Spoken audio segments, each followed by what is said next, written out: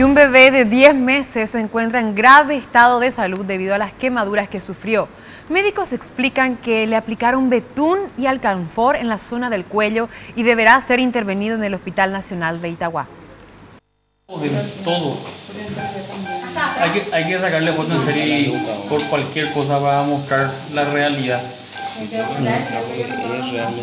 La mamá le pone pomada a la criatura en el cuello porque, porque cree que con eso le cura la papera.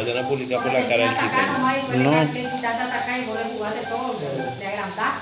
¿Te puedo poner mi guante así, jefe? Así, Sí, pone para que no se vea.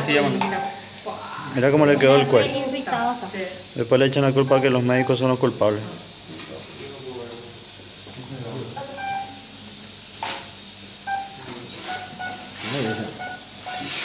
Y eso seguro va a tener más ¿no? No puedo imaginarte, jefa me dijo, mira, yo te entrego así mi hijo, me dijo. Así me amenazó. Después le amenaza al anestesiólogo que hay que cuidar al hijo. No, no, no. Ah, Muy bien para ventilar. Así expresaban su indignación los médicos al recibir el caso, tratado inicialmente en el Alto Paraná, de donde el niño es oriundo.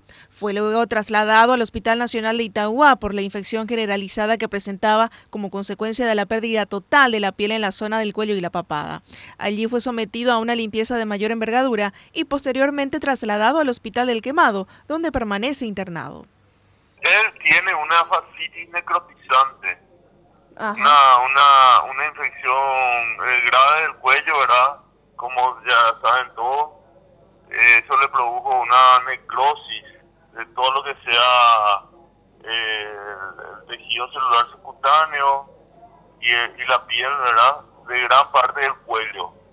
Los médicos no pueden precisar por cuánto tiempo el niño debió estar en contacto directo con el betún y alcanfor para llegar a tal punto. Luego de retirarle la parte muerta o infectada de la piel y tejidos, se le practicará una reconstrucción de los mismos. A partir de ahí ya vamos a dedicarnos a hacer eh, lo que las cirugías que se llaman colgajos o injertos de un esteno expuesto eh, eh, elementos nobles, ya sean vasos sanguíneos o nervios, y vamos a ir evaluando eh, curación con curación. De acuerdo al informe brindado por el Ministerio de Salud, la madre del niño amenazó a los médicos que lo atendieron, responsabilizándolos de lo que pudiera sucederle, por lo que el caso fue comunicado a la Defensoría de la Niñez, el Servicio Social y se estableció contacto con la Secretaría de la Niñez para que actúen de oficio.